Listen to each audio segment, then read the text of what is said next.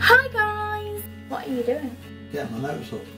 You've got notes as well, have you? Yeah. Do they actually relate to Nick Cave's 20,000 Days on Earth? Yeah.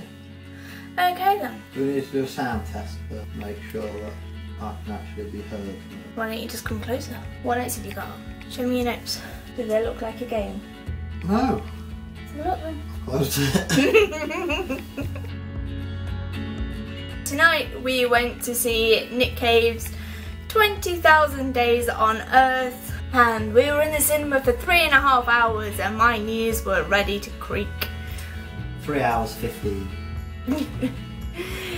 yeah, there was a little bit of an introduction from Edith Bowman and then it went into the film and then after the film there was a Q&A section with him, the directors, um, his band and Ray Winstone and then there was some singing of his songs in between as well and it was it was a bit of an odd um, atmosphere wasn't it really I think especially at the start because when Edith Bowman was still talking the lights were up and you could see everybody around you and it almost felt as though we were a community together watching Nick Cave. I don't think anybody other than us in there was under 50 were they? There were a couple of people, but it was quite an, quite an elderly group. Yeah, but I felt quite comfortable in there. We were on the back seat and I felt quite comfortable to take notes, which I've never done for a film before, but it just it seemed like that sort of film that you would discuss in a film club or if you were at a book club and it was a book. It seems like it needs discussing. So I was making notes and the first note I made was on the size of his nipples as he was getting out of bed at the beginning.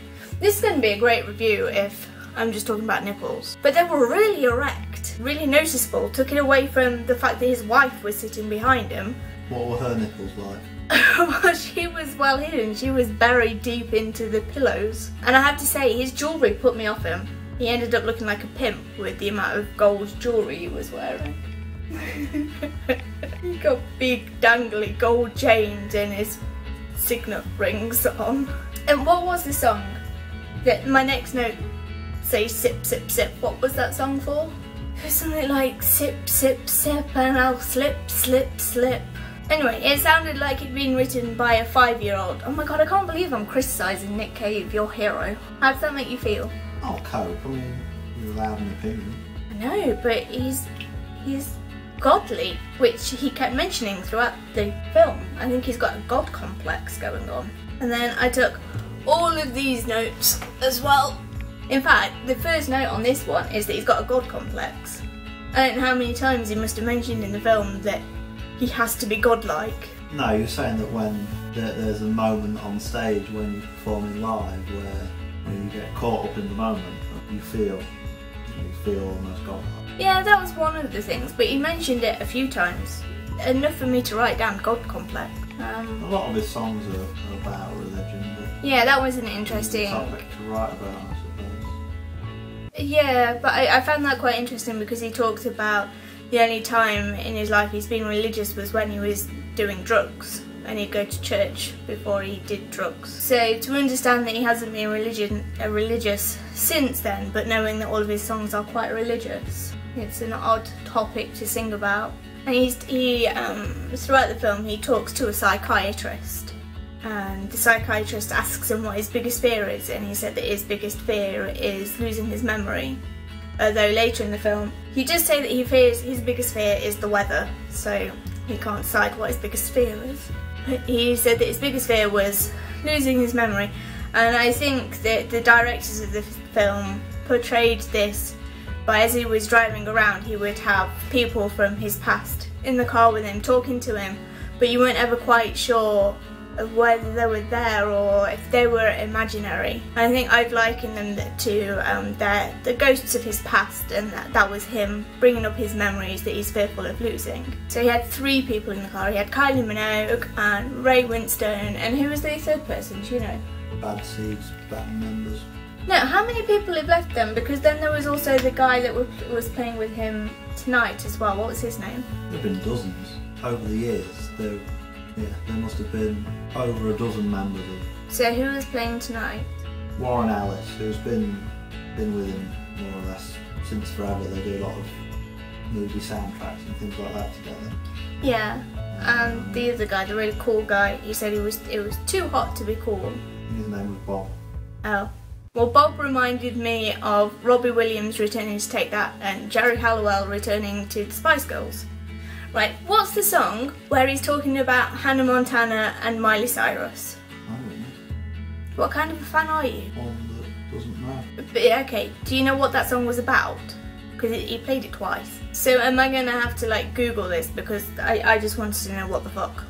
He was explaining about his first sexual encounter and that seemed pretty fucked up. But he remembers that the girl that it was with had dark hair and very white fair face, although admittedly she painted it white. But do you think that reflects on his wife? Because later in the film said that his wife had dark hair and very fair face.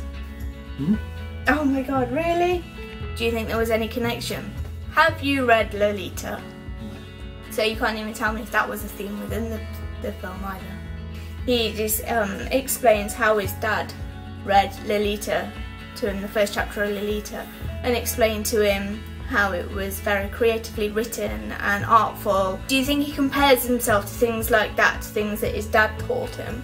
Maybe, I guess because he lost his dad at a relatively young age. Yeah.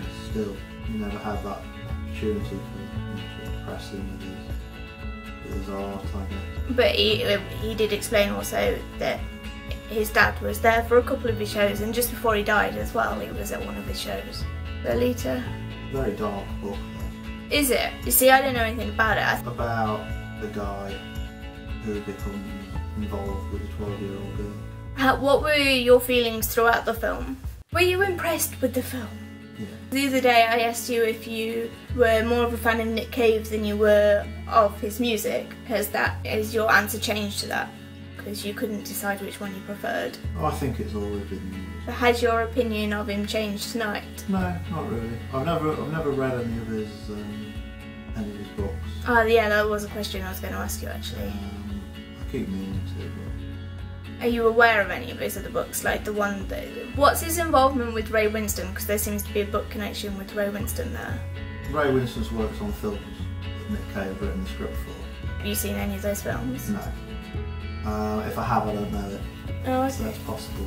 See, my impression of Nick Cave beforehand was quite a sexy older rocker, very confident in himself, didn't want the outside world coming in. He was a little bit cocksure of himself. But I think this film showed him in a vulnerable light, and I think he's quite a recluse, somebody who wants to hide away from the world a little bit.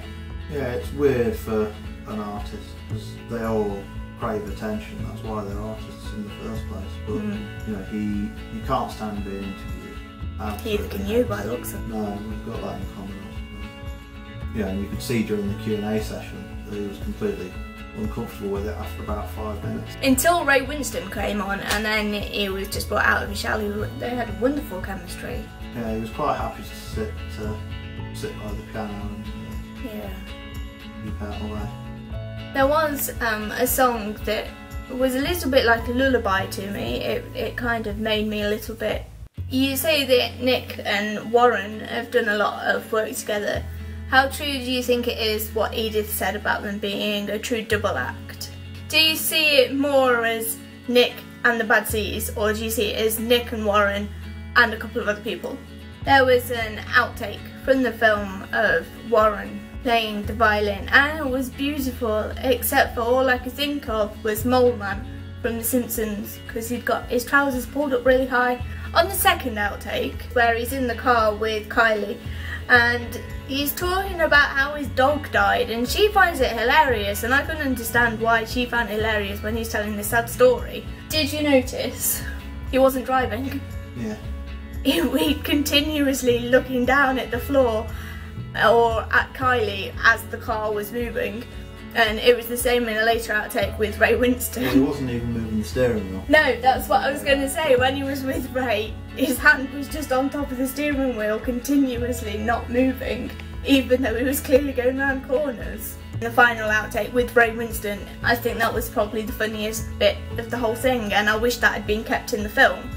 Except for the film was rather melancholy. Melancholy? It's melancholy. What is it? Melancholy. Oh fuck. it's quite sad.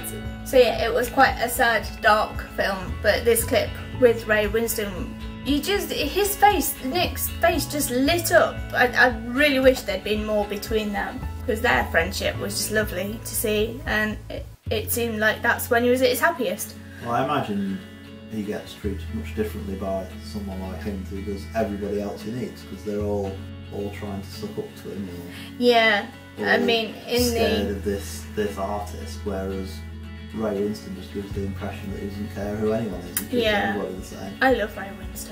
Um, and he does seem to seem to pull something out of Nick Cave that no one else in the uh, in the film did. Yeah.